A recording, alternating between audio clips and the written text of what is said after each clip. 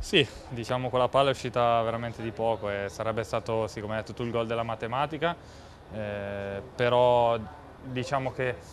il risultato è abbastanza, abbastanza giusto perché il primo tempo eh, loro ci hanno messo parecchio in difficoltà, eh, la bravura nostra credo che sia stata quella veramente di giocare un grandissimo secondo tempo dove, dove abbiamo ripreso, ripreso, subito il risultato e abbiamo avuto anche altre occasioni per, per, andare in vantaggio. Sotto la gestione di Pillon, Leonardo di Pescara ha perso una sola partita a Vercelli, tra l'altro giocando in 10 uomini per oltre 80 minuti. Questo allenatore ha cambiato il volto di questa eh, squadra. Diceva qualche istante fa il tuo compagno di squadra Luca Valzania è venuto il mister e ci ha restituito serenità, era soprattutto una questione di testa allora? Ha saputo toccare le corde giuste, secondo me, soprattutto perché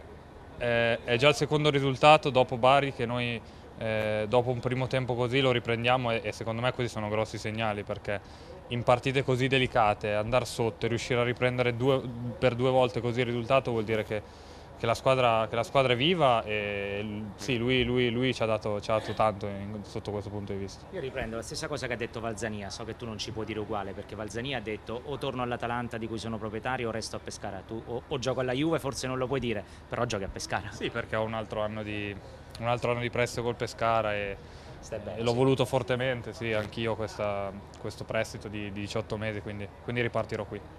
Ora c'è questa gara con l'Ascoli, sabato prossimo l'ultima gara casalinga della stagione, la gara che eh, per forza di cose dovrà regalare la salvezza a questa gara, una partita importante, una sorta di derby, una partita a cui i tifosi tengono in maniera particolare. Sì, sì, eh, forse cade a pennello perché è una partita, come hai detto tu, importante per, per i tifosi ed è la parità che veramente ci può dare la matematica. Quindi, quindi, forse cade, cade, il momento giusto e ci, pre ci prepareremo benissimo in settimana per affrontarlo.